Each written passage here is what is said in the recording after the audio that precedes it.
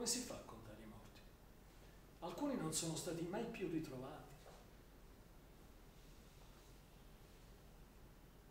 Proviamo a fare come a scuola, contiamo gli assenti. Eh, ma mica tutti gli assenti sono morti. Eh già, è una conta difficile, ci vuole tempo.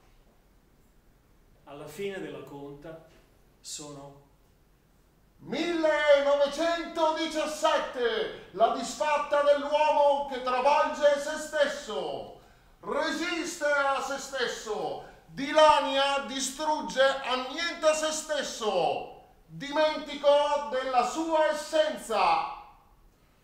Sull'unico monte non sommerso approda una piccola barca. Di tanti uomini, un solo superstite. Di tante donne, una sola superstite. Non è che la fiumara si risveglia. Oh maronna rula vitu, come corre la fiumara, se sedevano cannito, non facimmo più panara. Papà, papà, si è portato via la macchina.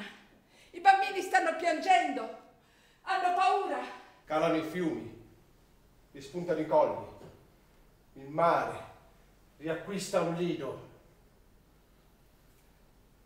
e gli albi raccolgono i torrenti, emerge la terra, spuntano le cime dei boschi con i rami ancora vinti dai residui di fango.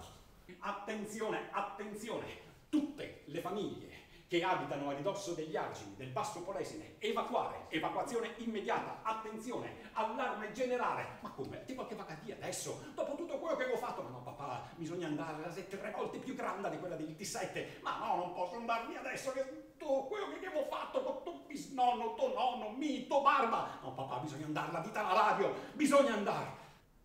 143 frane.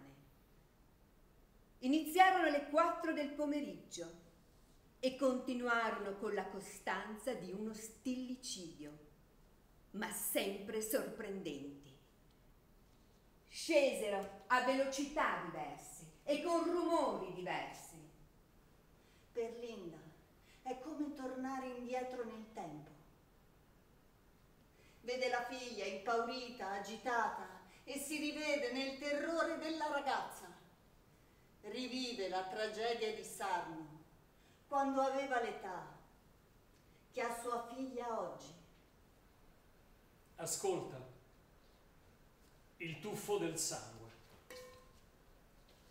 Moltiplica per il quadrato delle stelle fisse, per il grido del capretto sgozzato ogni Pasqua Natale